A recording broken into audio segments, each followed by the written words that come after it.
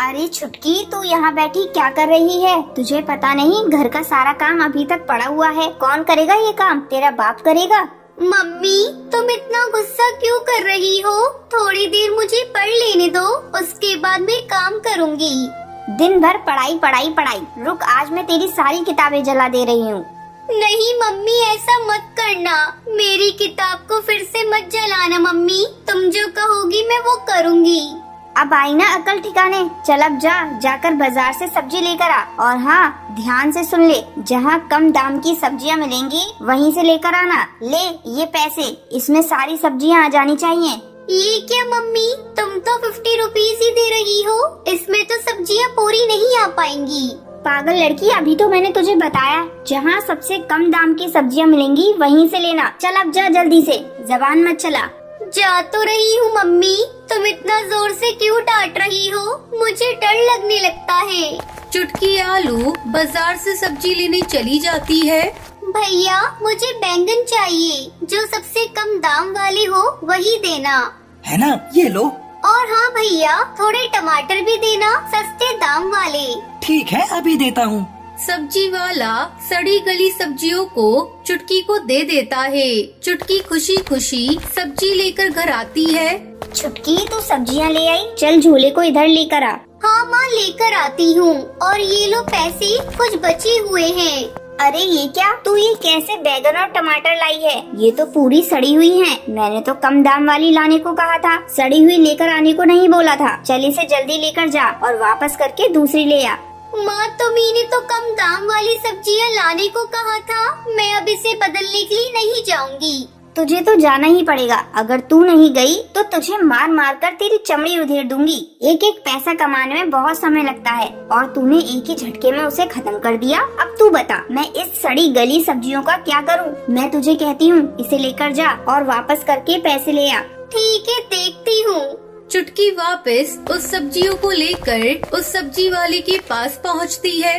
भैया मैंने तुमसे कम दाम वाली सब्ज़ी मांगी थी। सड़ी गली नहीं तुम इसे वापस करके मुझे पैसे दे दो। क्या बोली? मैं तेरी सब्ज़ियाँ वापस नहीं करता। भैया वापस कर दो ना।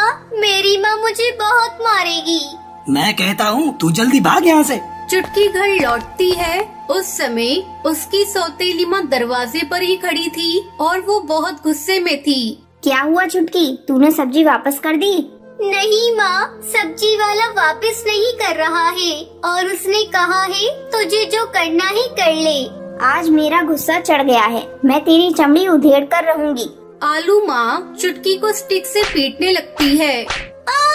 माँ मुझे मत मारो। मुझे चोट लग रही है। माँ मुझे मत मारो। मैं तेरी आज हड्डी पसली एक कर दूँगी। चुटकी के रोने की आवाज़ सुनकर उसका पति अपने कमरे से बाहर निकल कर आता है। छोरी तो इतना क्यों चिल्ला रही है? क्या बताऊँ जी इस लड़की से तो ढंग का एक भी काम नहीं होता। समझा समझा कर थक जाती हूँ लेकिन ये तो कुछ सुनती ही नहीं। अरे बात क्या है? वो मुझे बताओ तुम इसे क्यों पीट रही हो? ये देखिए जी आप ही देख लीजिए सारी सब्ज़ियाँ गली सड़ी लाई है। अब आप ही बताइए मैं खाने में क्या बनाऊँ?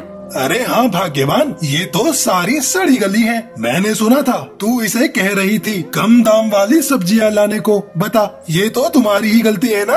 अच्छे दाम देती अच्छी सब्ज़ियाँ ले आती। इसमें इस मासूम बच्ची की क्या गलती है? पापा, देखो ना, माँ मुझे कब से पीट रही थी। तुमने आकर मुझे बचा लिया। नहीं तो माँ भी मुझे मारती ही रहती। मेरी माँ बहुत गंदी है, मैं इनसे बात नहीं करूँगी। नहीं बेटा ऐसा नहीं कहते। वो तुम्हारी माँ है अभी गुस्सा है फिर ठीक हो जाएँगी। तो चल मेरे साथ मैं तुझे टॉफी दिलाऊँगा। आप ही के लाड प्यार की वजह से बिगड़ चुकी है। अगर अभी से ये सब नहीं समझेगी तो दूसरे घर जाएगी तो क्या करेगी? अरे भाग्यवान भविष्य की चिंता क्यों करती हो? जब समय आएगा तो देखा जाएगा। अच्छा तू अब जा दूसरी सब्ज़ी ले आ मैं इसे लेकर टॉफी दिलाने जाता हूँ। इतना कहकर गोलू आलू अपनी बेटी को लेकर बाज़ार चीज़ दिलाने चला जाता है। तो ये थी आज की कहानी। आज का सवाल ये है, चुटकी की माँ सब्ज़ियाँ लाने के लिए चुटकी को कितने पैसे देती है? अगर आपको पता है तो आप हमें कमेंट करके ज़रूर बताएँ। अगर आपको ये वीडियो पसंद आई हो तो इस वीडियो को लाइक और ऐसी ही कहानियाँ देखने के लिए मेरे चैनल को सब्सक्राइब करना न भूलें।